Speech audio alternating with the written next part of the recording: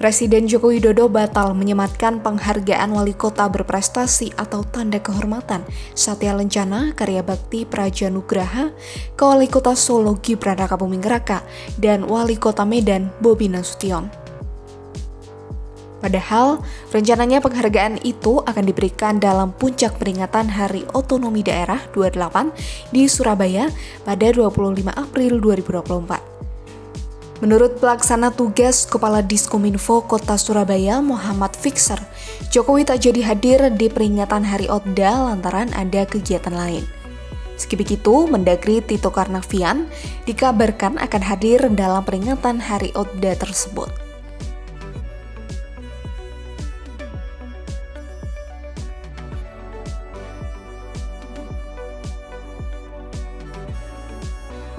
Terpisah, pelaksana tugas Deputi Protokol, Pers, dan Media Sekretariat Presiden Yusuf Permana menyampaikan bahwa Jokowi tidak mempunyai agenda untuk berkunjung ke Surabaya pada 25 April 2024. Pernyataan Yusuf ini pun berbeda dengan perkataan Wali Kota Surabaya, Eri Cahyadi, yang menyebutkan acara Hari Otda akan dihadiri oleh Jokowi.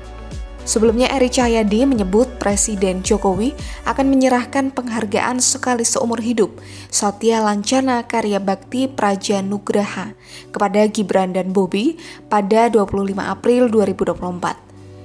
Kedati begitu, Jokowi tidak hanya memberikan tanda kehormatan Satya Lancana karya Bakti Praja Nugraha kepada Gibran dan Bobi saja ada total 15 kepala daerah berprestasi pada 2022 yang akan menerima penghargaan yang sama.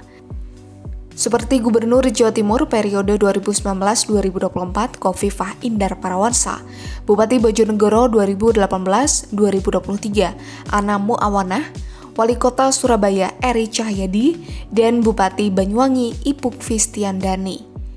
Eri menjelaskan, Satya Lencana Karya Bakti Praja Nugraha adalah penghargaan penting yang diberikan sekali seumur hidup pada kepala daerah. Tanda kehormatan itu diberikan pada penyelenggara pemerintah daerah didasarkan pada prestasi dan kinerja selama menjabat. Selain itu, Satya Lencana Karya Bakti Praja Nugraha merupakan tanda kehormatan yang diberikan dengan keputusan Presiden RI.